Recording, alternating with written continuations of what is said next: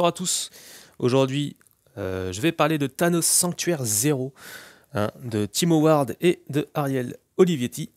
Alors, on a les épisodes de Thanos 2019 hein, de 1 à 6. Euh, pour contextualiser un petit peu le récit, on a un édito au début, ça c'est c'est pas mal.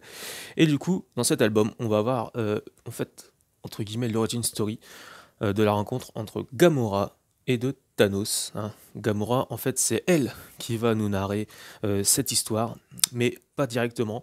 En fait, elle va s'adresser à un autre personnage. Voilà. Un, autre personnage. Je aller spoiler le personnage là, mais je me suis arrêté. Donc voilà. Euh, ce qui fait un peu miroir, en fait, avec euh, du coup sa relation avec le titan fou. Et en fait, le titan fou là qui va prendre carrément Vraiment, la définition du titan fou va prendre euh, vraiment son importance dans ce récit. Il est carrément en train de péter un câble dans ce récit. Voilà, tout, simplement. Du coup, on va voir l'histoire de Gamora dans le vaisseau de Thanos avec son équipage euh, qui va être euh, vraiment qui va prendre une autre tournure à l'intérieur l'équipage qui va essayer de, se mettre contre, contre Thanos excusez-moi par rapport aussi du coup à la petite Gamora donc voilà, on va voir cette relation entre Thanos et la mort dans ce récit, euh, qui va être importante. Et du coup avec Gamora aussi, parce que Gamora à un moment donné va réussir à, voir voilà, euh, la mort, va réussir à, la voir. Et c'est pour ça que Thanos va, bloquer sur Gamora en fait, tout simplement. Donc voilà, à la fin il va y avoir un petit rappel entre cette relation Thanos-mort, Gamora-Thanos, vous allez voir, il y a un petit clin d'œil.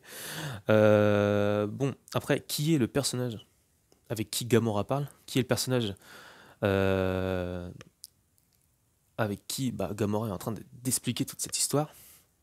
Surtout, le surnom du titan fou, là, il va prendre, euh, comme je vous dis, une place importante. Mais dès le début, hein, dès le début, vous allez comprendre le pourquoi du comment.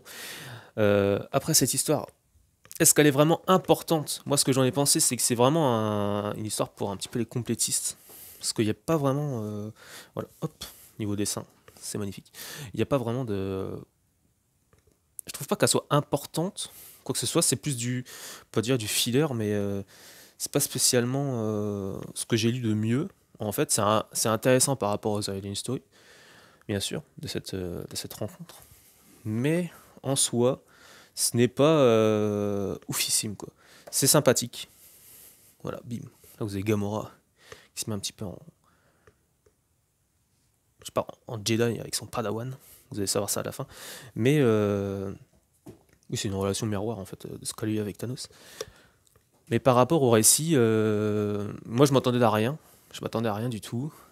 Je suis pas déçu non plus, euh, je vais pas, vais pas mentir.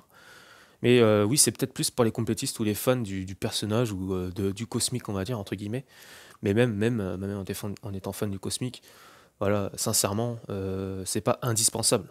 Je ne vais, pas vous mentir, c'est pas non plus un récit indispensable. On est sur un petit, euh, un petit, un petit récit casse-croûte, j'ai envie de vous dire. T'es content de le lire, mais je sais pas si euh, moi je vais le relire. Voilà.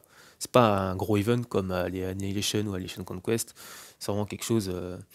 voilà, c'est sympathique à, lire, mais sans plus. Voilà. C'est du bon. Moi.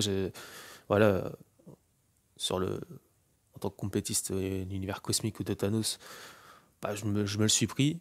Mais en étant honnête, c'est pas non plus, euh, c'est pas ce que j'ai dit de mieux en cosmique ou autour de, de, Thanos. Voilà. Euh, dites-le moi, vous, en commentaire, ce que vous avez pensé. Euh, moi, je vous en ai parlé super rapidement parce que j'ai pas envie non plus de, trop spoiler vu que c'est quand même un récit qui, est assez récent entre guillemets, c'est 2019. J'aurais pu aller un peu plus loin, mais j'ai pas trop envie de, tout étaler non plus. Voilà. Euh, je trouvais ça sympa, mais euh, voilà, comme je vous dis, sans plus. À picorer, une lecture, une lecture casse-croûte, comme on dit. Voilà. Alors je vous laisse là-dessus. Mettez-moi en commentaire ce que vous avez pensé ou si vous avez des questions sur ce récit. Moi, je vous dis à la prochaine, du coup, pour un prochain Avis Comics. Salut